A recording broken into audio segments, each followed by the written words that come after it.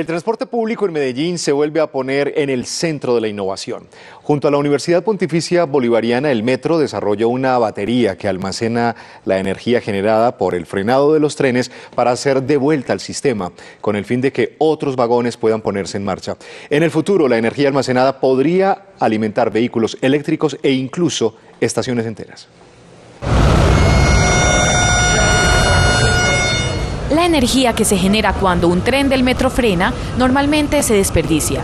Esto generaba algunos problemas. Cuando un tren está siendo frenado regenerativo y no hay ningún otro tren eh, recuperando esa energía al arrancar, entonces el voltaje se eleva por valores que podían poner en, en peligro algunos equipos. El nuevo sistema reutiliza la energía sobrante para que otros trenes puedan arrancar. El proyecto consiste en tener una serie de equipos en la subestación de energía que permitan guardar o almacenar la energía que no es útil para los trenes. Y este equipo que instalamos la guarda de forma que pueda ser utilizada por otro tren en el momento en que esté arrancando. Hasta el 20% de la energía que el frenado de los trenes almacena en la catenaria se puede ahorrar. Al día el sistema está ahorrando cerca de 300 kilovatios hora.